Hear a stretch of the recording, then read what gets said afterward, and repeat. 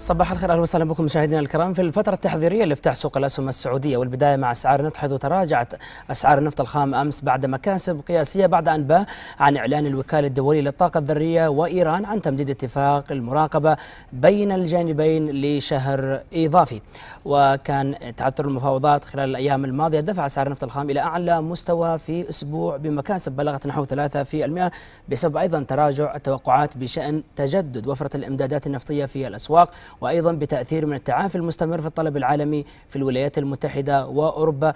جراء انتشار اللقاحات وأيضا تخفيف قيود الإغلاق وانتعاش أيضا كذلك حركة السفر خلال الصيف، أيضا يعتزم وزراء الطاقة في مجموعة توبك بلس عقد اجتماع شهري جديد مطلع يونيو للتباحث حول مستجدات السوق. ومراجعة أيضا أحدث بيانات العرض والطلب والمخزونات وسط تكهنات باستمرار التمسك بالتخفيف التدريجي لقيود الإنتاج لمواكبة انتعاش الطلب في فصل الصيف.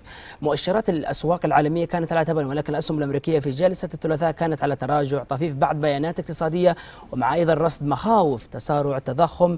أيضا ننسى فشل يعني مساهم شركة أبل في الاحتفاظ بمكاسب المسجلة في بداية الجلسة ليغلق في المنطقة الحمراء. في حين أيضا تمكنت بعض الأسهم كأمازون وغيرها من الارتفاع رغم اعتزام المدعي العام في واشنطن من رفع دعوى قضائية ضد شركة التجارة الإلكترونية باتهامات متعلقة بالاحتكار. ولكن لا يزال أيضا المستثمرون يترقبون المخاوف بشأن تسارع التضخم في الولايات المتحدة وسط توقعات بتراجع الضغوط التضخمية بحلول نهاية العام خلال الفترة القادمة. ولكن مع يعني الدول اقتصادات الأعمال وعودة أيضا كذلك اقتصادات الأعمال خلال الفترة القادمة.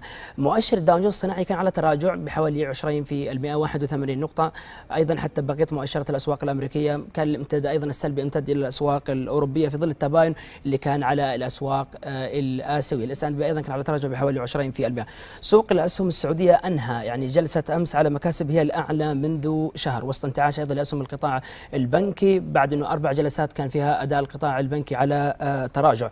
وخلال الفترة الماضية إذا ما أخذنا بالاعتبار أن السوق أمس أغلق على مكاسب ب 1.13 في المئة مكاسب بحوالي 129 نقطة 1.13 في المئة مستويات ال 10448 نقطة. في ظل أيضا التحرك الإيجابي للسوق بعد النتائج المالية للشركات واللي أظهرت تحسن كبير بأكثر من 44% خلال الربع الأول من العام. الحالي ولكن أيضا ما تزال المستويات السعرية مرتفعة بالنسبة للكثير من الأسهم نظرا للمنكرات أيضا كذلك الربحية العالية.